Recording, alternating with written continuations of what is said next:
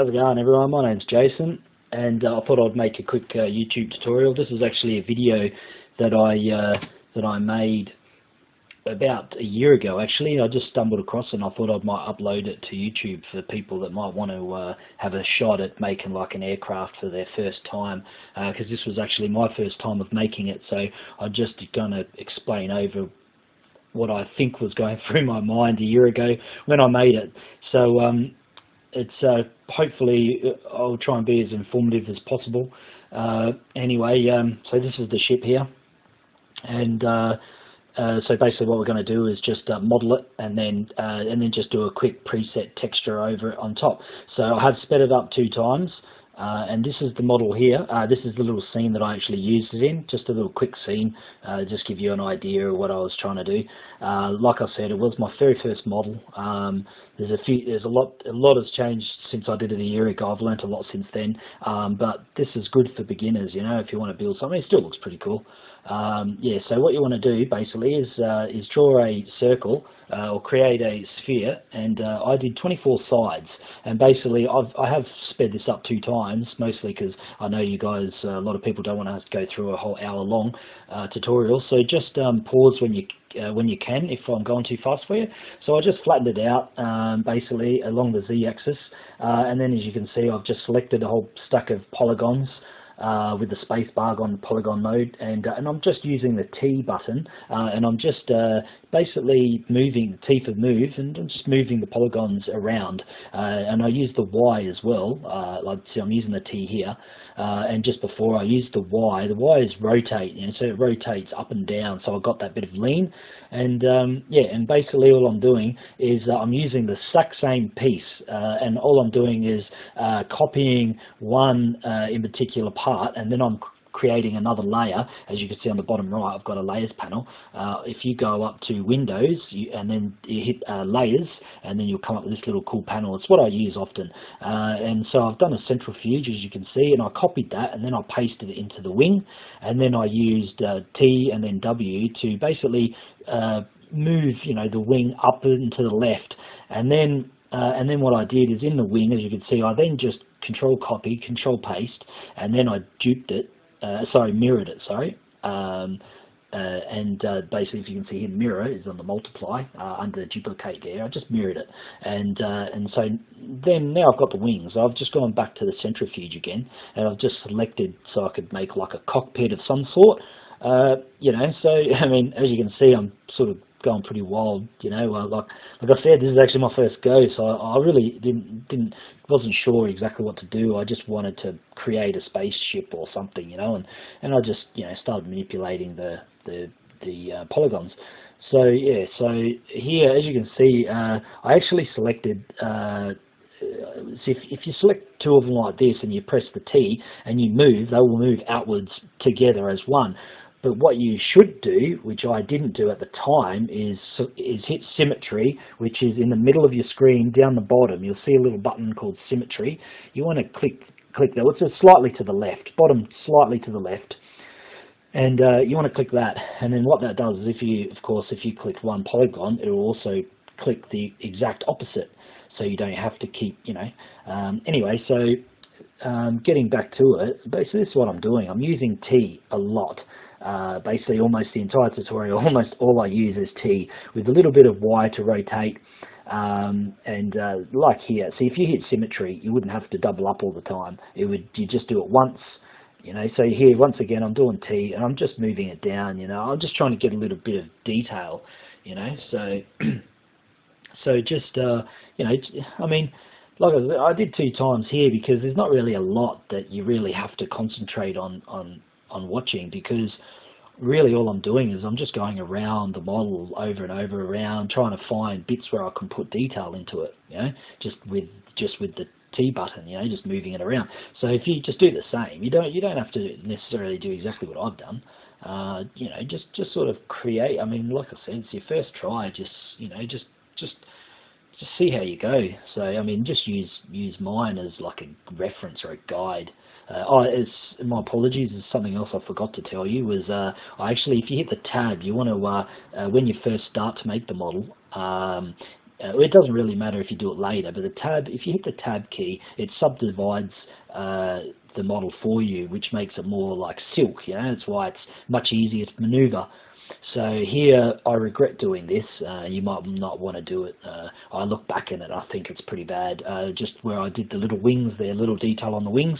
I don't really like that very much, but uh, like I said, uh, you know, I was just playing around. You just, just, just play around with everything. Um, just there, I used B for bevel, where uh, you know, so if you select your polygons and B for bevel, and you lift it up and down, you know, that, that that's what's giving me that depth there. So, uh, but really, you, don't really want to worry about that too much. If it's your first go, just just you know, if you don't know very many keys, just just use the T button and the Y button to rotate, and you know, and just start pulling pulling polygons around everywhere. Just just make sure you don't stretch the polygons too much.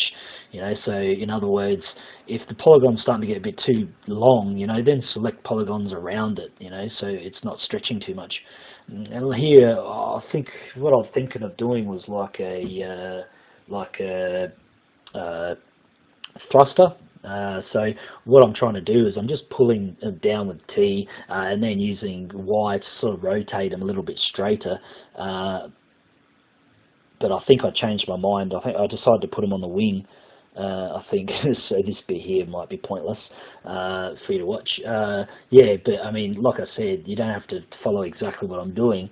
Just basically you know, use it as a reference and, you know, just, just pause, like I said, just pause your video here every now and then if, if I'm going a bit fast and, uh, you know, and then just have a play around with it until you're happy with what you've done and then you can restart the video back up and continue following on because, uh, like I said, a lot of this really is is you know it's just me trying to figure out you know what I'm going to do you know like uh, so I mean that's what you should do the same so uh, yeah so here uh, I just you know, created a burner page uh, with under layers there. If you just double click the layer, uh, and uh, I've just basically uh, extended a uh, a what did I do? Disk. I did a disk there on the left under primitives, and I just uh, expanded it out like like there. And, yeah, it doesn't have to be exactly like me, like what I've done. I'm just doing like a thruster thing.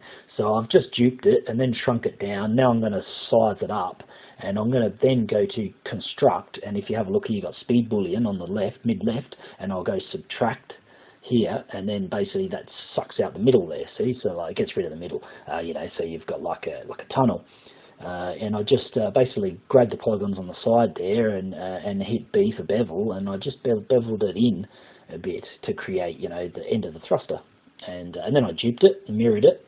Um, or I don't do that yet actually, sorry, I'm going ahead of myself, um, which what I will do, I'll put it in its like with the location where I want. So generally create one uh, and then don't worry about the second one until you've actually figured out where you're going to place it. You know, that way it saves you a lot of work. So I just create one, find out where I'm going to put it, and because of before, I mirrored the wing.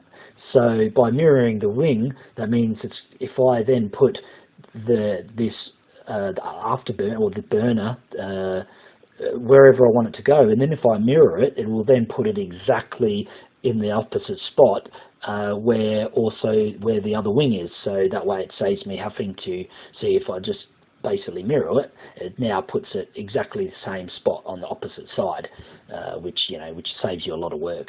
Uh, and of course, just move. You know, I think I, I spent way too much time on on on this sort of thing. I was sort of moving moving the polygons around to you know so then the the burners show. To be honest, you don't even need to. I mean.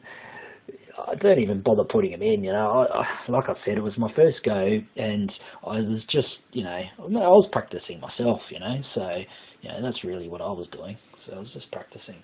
Yeah. Um, and like I said, um, that was a year ago. I'm a lot better now, and, and I'm only better because of all these little things that I did. you know, little mistakes that I did here and there. I learnt from them, so so my models are a lot better now. Uh, yeah. So like I said, just yeah, it was like a thinking of like a stingray or something. I think you know, and I sort of was playing around with the the, the tail there, and um, just here, what you want to do is uh, now now what I'm doing, I'm just mapping out surfaces. So you want to click, you know, what you want to make as like the window there, uh, and then make it. See, I've called it window, and I've just painted it blue under surface. So once you've selected it, click Q.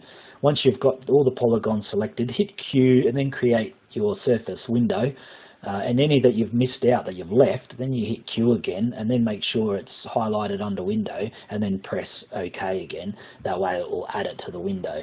Um, and uh, so basically that's what I'm doing. And now I'm centrifuge, uh, so you probably, because I ended up keeping all of it one colour except for the uh, I think the burners there I kept them separate. But the majority of the whole thing as you can see here I did it one color.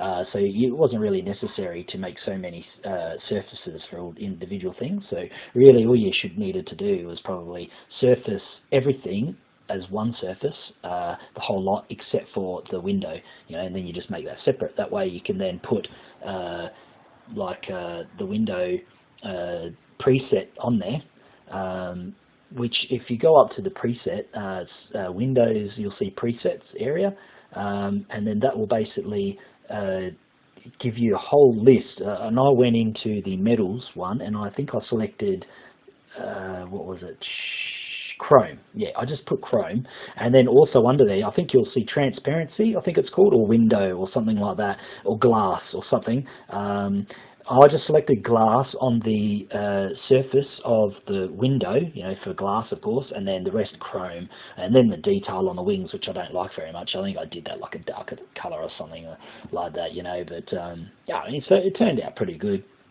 But like I said, just pause and uh, and uh, replay whenever you need to catch up. And um, thank you very much for listening. Um, please leave comments. Uh, I hope uh, I hope you.